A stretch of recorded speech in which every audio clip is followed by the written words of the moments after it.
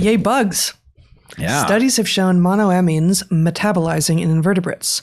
Does this mean they can feel pain, or rather, this means they can feel pain, right? How would they feel, if anything? this is from Mary, my former student. I don't know if I don't remember if she was your former student as well.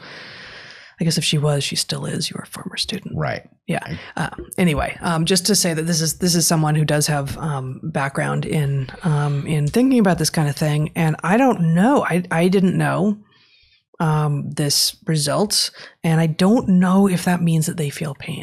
I'm Well- not sure. I I can totally make that link, but maybe. You gotta drill down on what you mean by feel pain.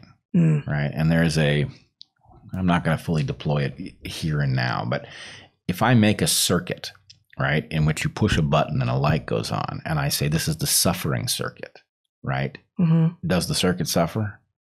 Just because I've called it that? So the reason that that's relevant is if you had a drone that had an alarm on it when an arm had broken off, hmm right? Is the drone suffering? It detects that its arm is broken off. Okay, now if you do that with a spider, if a spider loses its arm and a signal is sent, and in fact, one of the marvelous things uh, when you look at insects that have come out of the forest in a tropical environment where you get a ton of insects at lights, which is not so cool, but nonetheless, you do get a So you set up a light trap so to to, col- to collect, and, Right. you know, not inherently killing them, but just to, to observe all these Right. insects that are attracted to your light. Yeah. You find a lot of the tropical insects are missing limbs. They've had a Yeah. run in with something and they're not complete, right? Mhm. And the most fascinating thing is that they seem to have programs that accommodate that. It happens Yeah. so regularly and they Yeah. survive it that a program that figures out, well, how do you locomote when you're missing that leg, hmm right, exists in there. Cool.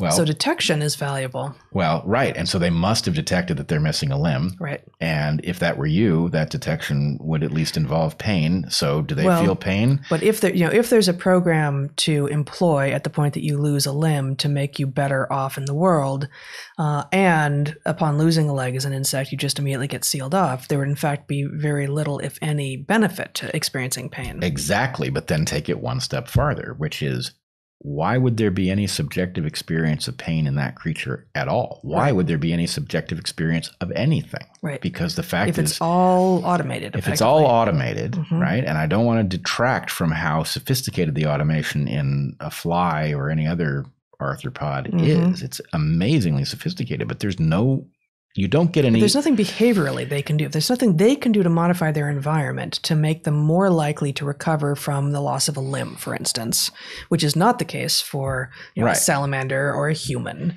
right? Then what? You know, why would selection have burdened it with the subjective experience of oh fuck this hurts, Right. So I don't want to rule out that they could Yeah. or that some rare insect does while the rest of them don't, right? Mhm. Any of these things are possible. But in order to know what is true, what is worth imagining is true, the question is what does it allow you to predict that you couldn't predict without assuming that thing? And the mm-hmm. answer, as far as I know, is nothing. Yeah. So, Yeah. you know, I want to cool. cautiously say, not clear that they have subjective experience. So the fact that they have something that plays the role of pain doesn't mean that they ouch, you know. It may not be Yeah. in there. I like it. I like it.